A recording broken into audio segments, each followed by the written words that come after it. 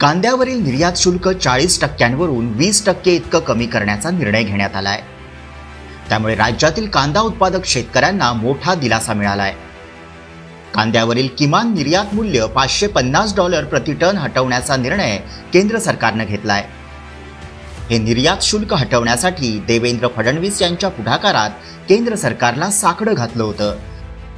यामुळे देवाभाऊ कांदा उत्पादकांच्या पाठीशी असल्याचं स्पष्ट झालंय.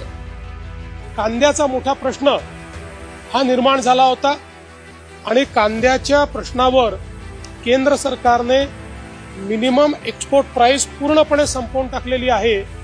आणि या ठिकाणी जी कस्टम जी काही त्याच्यावर एक्सपोर्ट ड्युटी होती ती चाळीस टक्क्यावरनं वीस टक्क्यावर आणलेली आहे. यामुळे कांद्याचे जे भाव आहेत ते स्थिर होण्याकरता ते वर जाण्याकरता अत्यंत मोठा फायदा या माध्यमातून होणार आहे.